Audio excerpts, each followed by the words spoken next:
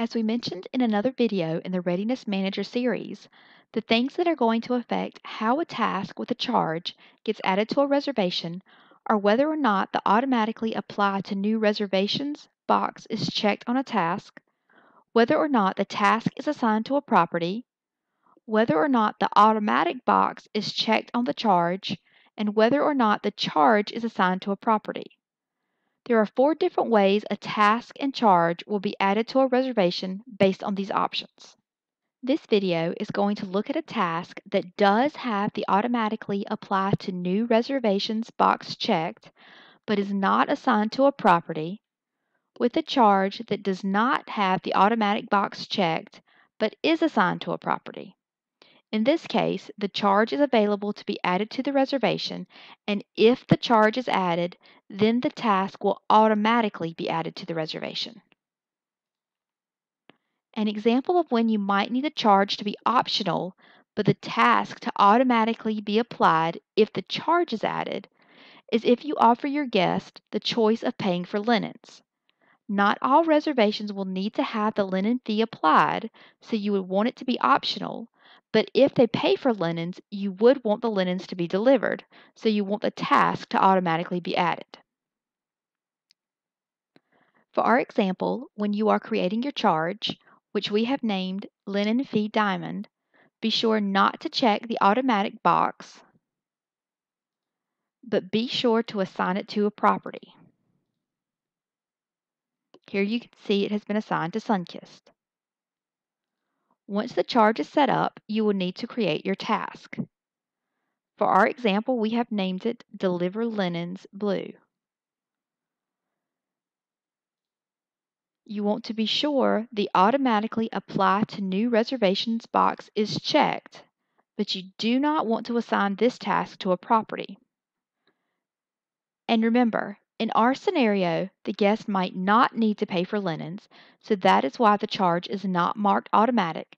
But if they do pay for linens, the linens have to be delivered, so that is why the automatically apply to new reservations box is checked on the task. Although we do not need to assign our task to a property, we do need to assign this task to the linen fee charge. And here you can see that it has already been assigned. Now let's take a look at a reservation that has been created for Sunkist. Under the Other Charges tab, you will notice that the linen fee charge is available to be added to this reservation. Under the Readiness tab, you will notice that the task to deliver the linens is not available to be added to this reservation, nor has it automatically been added to the reservation. However, if we go back under the Other Charges tab and we add the charge to the reservation and then go into the Readiness tab, you should see the Deliver Linens task automatically added to the reservation.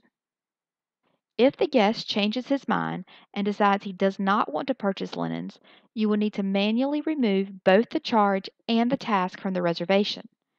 Even though the task was automatically applied when the charge was added, the task will not automatically be removed from the reservation if the charge is removed. For this example, please keep in mind that as a default, all tasks are set with a due date equal to the checkout date of the reservation. Since this task needs to be completed before the reservation checks in, you will need to change the due date to the check-in date of the reservation. To do that, click on the task and then click the Change Date button. You will see that right now this task is scheduled to be completed on October 21st, but the reservation checks in on October 14th. So we will want to change that date and click Save Changes. Once we make the change on the reservation, it will automatically update the due date that's displaying in the Readiness Manager grid. Please take a look at the other videos in the Readiness Manager series for information on setting up other tasks with charges. If you have any questions, please contact the help desk either by putting in a ticket or sending an email to help at vrmgr.com. Thank you.